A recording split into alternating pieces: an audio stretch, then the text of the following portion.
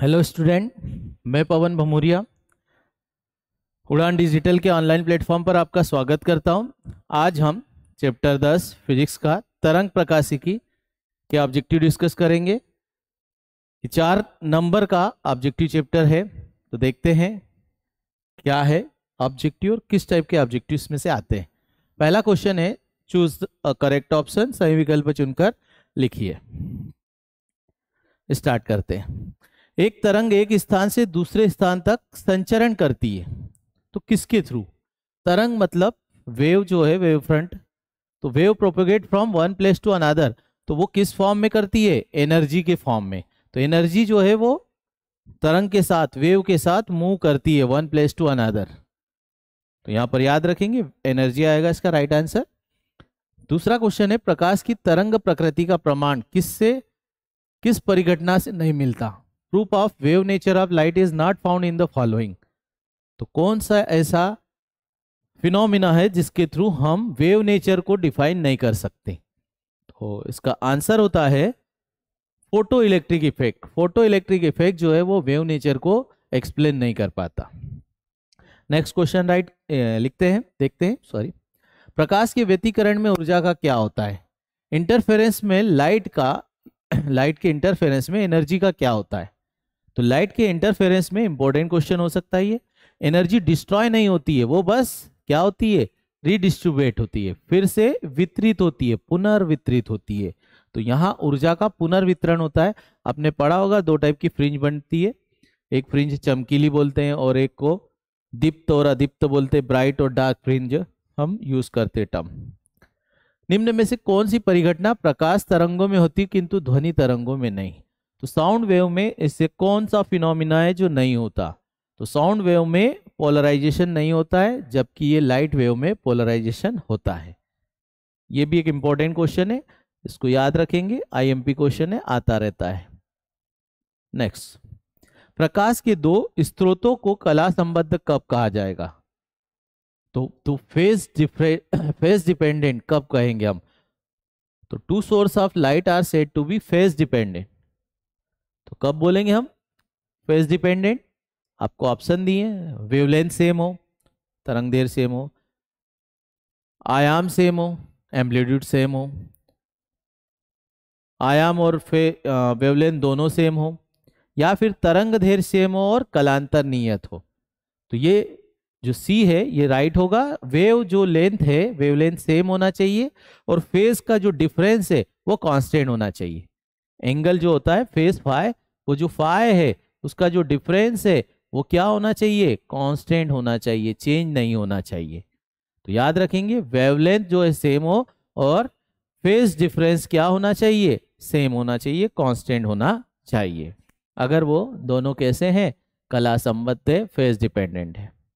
Next. दो तरंगे दिए E one is equal to E naught sine omega t और E two is equal to E naught sine omega t plus five अब यहाँ बोल रहा है विनाशी व्यतीकरण हो। विनाशी मतलब डिस्ट्रक्टिव इंटरफेरेंस होना चाहिए तो उसके लिए क्या कंडीशन है?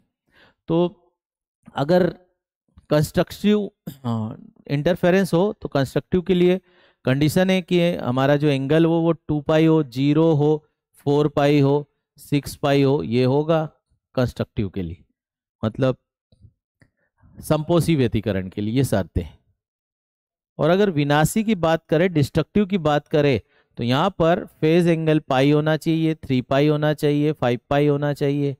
तो जो भी इसमें से बेस्ट होगा, वो हो जाएगा। सी जो है, वो पाई फ़ेज़ एंगल होगा, तब हमको डिस्ट्रक्टिव इंटरफेरेंस मिलेगा। नेक्स्ट क्वेश्चन लेते हैं। ये बहुत अच्छा क्वेश्चन है। ये नीट लेवल तक का क्वेश्चन है। आपको बोला है दो वेव दिए एक वाई वन है Y one is equal to psi four sine omega t और Y two is equal to three sine omega t plus pi by three आपको बोला है कि एक बिंदु पर व्यतीकरण करती है, दोनों इंटरफेस करती है। तो जो रिजल्टेंट आयाम है, वो क्या होगा? तो रिजल्टेंट आयाम का जो फार्मूला होता है, वो होता है root of A one square plus A two square plus two A one A two cos five A one क्या है भाई? ए वन फोर है। ए टू क्या है? ए टू थ्री है। और एंगल क्या है? ये है पाई बाय थ्री बस यूज़ करते हैं। आपको नियरली पूछा है वैसे भी। तो फोर का स्क्वायर सिक्सटीन हो जाएगा। थ्री का स्क्वायर नाइन हो जाएगा। टू के प्लेस पर टू आ जाएगा। फोर या थ्री आ जाएगा। और cos sixty pi by three मतलब कॉस सिक्सटी और कॉस सिक्सटी की वैल्यू कितनी होती है? वन बाय टू टू से टू कैंसिल हो जाएगा। ये हो जाएगा ट्वेंटी फाइव एंड ट्वेल्व तो अंडर रूट थर्टी सेवन तो अराउंड ये वैल्यू आएगी सिक्स के। तो यहाँ पर आपको बेस सिलेक्ट करना है अप्रोक्सीमेटली बोला है तो सिक्स इज़ राइट आंसर होगा इसका। तो सिक्स जो है वो रिजल्टेंट एम्पलीट्यूड होगा। नेक्स्ट क्वेश्चन प्रकाश किरण के एक माध्यम से दूसरे माध्यम। जब भी हमारी रे लाइट रे ट्रेवल करती one media to another media उसकी जो फ्रीक्वेंसी है वो चेंज नहीं होती। और ये मोस्ट आईएमपी क्वेश्चन है बार बार पूछा जाता है। याद रखेंगे। तो कौन सी चीज़ चेंज नहीं होती? आवृत्ति फ्रीक्वेंसी जो है वो कांस्टेंट रहती है, बाकी सब चीज़ें चेंज हो सकती है। तो याद रखेंगे फ्रीक्वेंसी चेंज नहीं होती। व्यतीकरण होता है। तो व्यतीकरण किसमें होता है? दोनों तरंगों में होता है अनुधेर्य में भी और अनुप्रस्थ में भी। ठीक है? तो यहाँ पर आएगा दोनों में। Next question fill in the blank से रिक्त स्थानों की पूर्ति कीजिए। क्वेश्चन लेते हैं पहला। प्रकाश से संबंधित कणिका सिद्धांत। तो ये जो कार्पल्स थेरी है, ये न्यूटन साहब ने दी है। तो न्यूटन, आइजेक न्यूटन ने दी है। याद रखेंगे। तो न्यूटन ने दिया है कार्पल्स थेरी ऑफ़ लाइट। व्यतीकरण में किसका पुनर्वितरण होता है? Redistribution of dash dash dash take place in interference तो एनर्जी का होता है? एनर्जी का क्या होता है? रिडिस्ट्रीब्यूशन ऊर्जा का क्या होता है? पुनर्वितरण होता है। संपोषी व्यतीकरण के लिए तरंगों के मध्य कलांतर, जो फ़ेज़ एंगल है, वो कितना होना चाहिए? तो अभी बताया था मैंने टू पाई एन के इक्वल होना चाहिए। Where n is a zero, one, two, three, four. Dash dash dash. तो phase angle two pi n के इक्वल होना चाहिए डिस्ट्रक्टिव के लिए। नेक्स्ट है। तरंग सिद्धांत। वेव थेरी किससे दी, किसने दी है लाइट से रिलेटेड। तो आप जानते हैं हाइगन नाम का एक साइंटिस्ट है, हाइगन। तो हाइगन जो है, हाइगन बोलते सॉरी हाइगन नाम का एक साइंटिस्ट है, उन्होंने ये वेव थेरी दी है।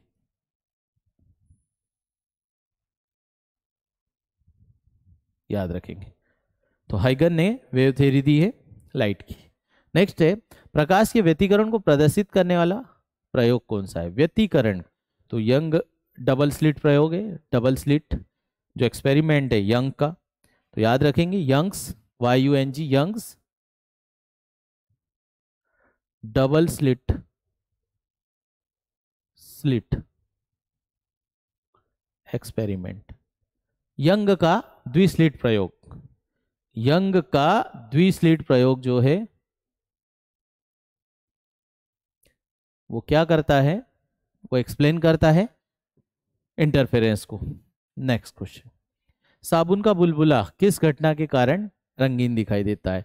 मोस्ट टाइम पे क्वेश्चन है, याद रखेंगे व्यतीकरण के कारण साबुन का बुलबुला कैसा दिखाई देता है? रंगीन। इंटरफेरेंस इंटरफेरेंस के कारण ये कलरफुल दिखाई देता है। चार और पाँच आयाम वाले प्रकाश के मध्य व्यतीकरण की घटना हो तो दीप्त और अधिप्त फ्रिंजों की तीव्रताओं का अनुपात क्या होगा? तो आपको क्या दिया है? एम्पलीट्यूड दिया है। ए वन की वैल्यू फोर दी है ए टू की वैल्यू कितनी दी है? फाइव आपको पूछा है I max by I minimum का रेशो और इसका एक फार्मूला होता है A one plus A two by A one minus A two का होल स्क्वायर कुछ नहीं करता, दोनों को एक बार ऐड कर दो। फोर प्लस फाइव का square divide by four minus five का स्क्वायर ये हो जाएगा नाइन का स्क्वायर एट्टी वन, ये माइनस वन का स्क्वायर वन हो जाएगा। तो रेशो हो जाएगा eighty one is to one एकल स्लिट द्वारा विवर्तन, खालिस्तान विवर्तन का उदाहरण है। Diffraction by a single slit is an example of Fresnel diffraction ये फ्रेनल डिफ्रेक्शन फ्रेनल ने एक एक्सपेरिमेंट किया था तो फ्रेनल डिफ्रेक्शन का एक एग्ज़ाम्पल है। नेक्स्ट क्वेश्चन जैमिति छाया में प्रकाश के अतिक्रमण की घटना को डिफ्रेक्शन बोलते हैं। ये जो लास्ट क्वेश्चन था डिफ्रेक्शन तो यही इसका राइट आंसर है डिफ्रेक्शन ज्यामिति छाया में प्रकाश के अतिक्रमण की घटना को विवर्तन कहा जाता है। क्या कहा जाता है? विवर्तन. In geometry the phenomena of encroachment of light into the shadow is called diffraction. Next question है, कला संबद्ध स्त्रोतों के प्रकाश तरंगों के मध्य कलांतर समय के साथ क्या होता है? देखिए, कला संबद्ध अगर phase difference between the light wave of the optical source remaining dash dash dash with time तो ये आएगा कांस्टेंट, स्थिर रहता है। ये जो कला का अंतर है, ये बदलता नहीं है, स्थिर रहता है या अपरिवर्तित रहता है। वो जो फ़ेज़ एंगल है, वो कैसा होगा? फ़ेज़ एंगल चेंज नहीं होगा। No change in phase angle तो कोई चेंज नहीं होगा कांस्टेंट होता है। नेक्स्ट क्वेश्चन है वन वर्ड है। आंसर इन वन वर्ड देखते हैं। पहला एक तरंगाग्र के दो बिंदुओं के बीच कलांतर क्या होता है? एक ही तरंगाग एक ही वेव फ्रंट है और उसके दो पॉइंट पर फ़ेज़ डिफरेंस क्या होता है? तो phase difference between two point in any wave front is zero. तो शून्य होता है, याद रखेंगे, किसी एक तरंगाग्र पर दो बिंदु ले ले तो वहाँ फ़ेज़ का डिफरेंस वहाँ कला का अंतर शून्य होगा। फ़िल्मों की सतह में रंग का कारण क्या है? तो अभी बताया था मैंने, बताया था व्यतीकरण इंटरफेरेंस व्यतीकरण इंटरफियरेंस इंटरफेरेंस के कारण, व्यतीकरण के कारण जो कलर फ़िल्म जो है, उसमें कलर आ जाता है। यदि प्रकाश की कला संबद्ध तरंगे विनाशी व्यतीकरण उत्पन्न होती है तो उनके मध्य कलांतर क्या होना चाहिए? अगर डिस्ट्रक्टिव इंटरफेरेंस जनरेट हो रहा है तो जो फ़ेज़ एंगल है फाइ उसकी वैल्यू क्या होना चाहिए? तो उसकी वैल्यू होना चाहिए two n plus one into pi के इक्वल तो यहाँ पर अगर ज़ीरो रखेंगे एन की वैल्यू तो पाई आ जाएगा। वन रखेंगे तो थ्री पाई तो पाई थ्री पाई फाइव पाई इस टाइप से आएगा डिस्ट्रक्टिव के लिए।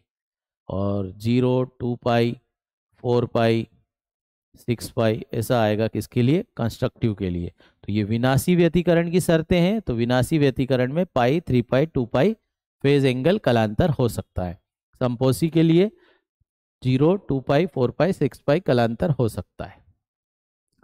प्रकाश के व्यतीकरण के लिए किस प्रकार के स्त्रोतों की आवश्यकता होती है? तो फेस डिपेंडेंट कला संबद्ध स्त्रोत होना चाहिए। मोस्ट एमपी पॉइंट है ये। कला संबद्ध स्त्रोत है तो क्या होगा? प्रकाश का व्यतीकरण होगा, अन्यथा नहीं होगा। विवर्तन प्रतिरोध प्राप्त करने के लिए स्लिट का द्वारक कितना होना चाहिए? तो what should be the aperture of the slit to be obtain the diffraction pattern तो डिफ्रेक्शन पैटर्न में आपको बोला है डिफ्रेक्शन पैटर्न प्राप्त करने के लिए साइज़ ऑफ़ स्लिट क्या होना चाहिए? तो साइज़ ऑफ़ स्लिट जो है, वो वेवलेंथ के साइज़ का होना चाहिए। जो भी लाइट है लाइट का वेवलेंथ है, उस साइड का अपरेचर होना चाहिए, जिससे कि क्या हो सके डिफ्रेक्शन पैटर्न मिल सके। नेक्स्ट है यंग के द्विस्लिट प्रयोग में फ्रिंज की चौड़ाई क्या होती है? तो फ्रिंज की चौड़ाई को हम बीटा से डिनोट करते हैं और beta is equal to D lambda by two D होता है। तो ये है फ्रिंज की चौड़ाई विथ ये जो यंग्स डबल स्लेट एक्सपेरिमेंट है, उसमें फार्मूला फ्रिंज है D lambda by two D next मेज दो कॉलम है, देखते हैं हम मेज द कॉलम प्रकाश का कणिका सिद्धांत तो कणिका सिद्धांत किसने दिया है? कार्पल थेरी ऑफ़ लाइट किसने दी है? न्यूटन ने। प्रकाश का तरंग सिद्धांत वे थेरी ऑफ़ लाइट जो है वो हाइगन ने दी है। जामिति छाया में प्रकाश का अतिक्रमण, प्रकाश का जब भी जोमेट्रिक शेडो में पेनिट्रेशन ऑफ़ लाइट आ जाए तो इसको हम बोलते हैं विवर्तन डिफ्रेक्शन ऊर्जा का पुनर्वितरण एनर्जी का री डिस्ट्रीब्यूशन जो होता है वो किसमें होता है? इंटरफेरेंस में होता है, व्यतीकरण में होता है। और द्वितीय तरंगिकाओं का सिद्धांत भी किसने दिया है? हाइगन ने। यहाँ पर ये जो बेस्ट से बेस्ट सिलेक्ट करना है, तरंग सिद्धांत हम बोल सकते हैं। द्वितीय तरंग का सिद्धांत किसने दिया है? हाइगन ने। और यहाँ पर प्रकाश का तरंग सिद्धांत, अगर हमारे पास कोई ऑप्शन नहीं है तो उसके हिसाब से हम मैक्सवेल राइट कर सकते हैं। तो न्यूटन ने दिया है कणिका सिद्धांत तरंग सिद्धांत। मैक्सवेल लिख सकते हैं जामिति अतिक्रमण को हम क्या बोलेंगे? विवर्तन डिफ्रेक्शन एनर्जी डिस्ट्रीब्यूशन व्यतिकरण होता है। और ये मोस्ट एम पॉइंट है सेकेंडरी तरंगिका का सेकेंडरी वेव फ्रंट का जो लॉजिक है, वो किसने दिया है? हाइगन ने दिया है। ये जो हमारा फिजिक्स का चैप्टर था, बहुत आसान सा चैप्टर है। आपको थ्री मार्क्स के ऑब्जेक्टिव कवर करेगा। मैंने फोर बोल दिया था तो थ्री मार्क्स के ऑब्जेक्टिव इसमें से आएँगे। और आप इतना पढ़ लेंगे तो इजीली आप थ्री मार्क्स के ऑब्जेक्टिव ला सकते हैं। तो आज का सेशन हमारा कैसा लगा? हमें कमेंट करके ज़रूर बताएँ। Thank you